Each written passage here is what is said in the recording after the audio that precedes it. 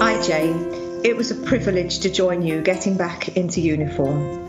We've all of us played our part, small cogs in a big wheel, but you have gained expertise and respect that has helped shape the pandemic research effort here in Wales. Jayne, it's been a real privilege working with you over the past year in what's been a tough and horrible year for us all.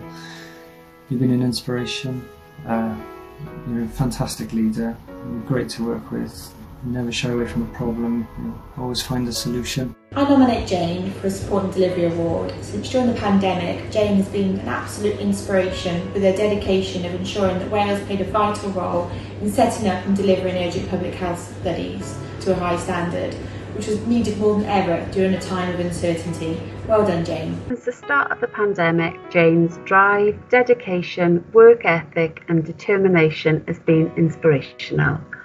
There's no one more deserving of a special award, and I'm delighted to see Jayne's hard work recognised. I look forward to continue being your wingman. As well as now for the future. Jayne, I salute you. We're always here at the end of the phone or a Teams call, sometimes on mute, but, you're, but you are there.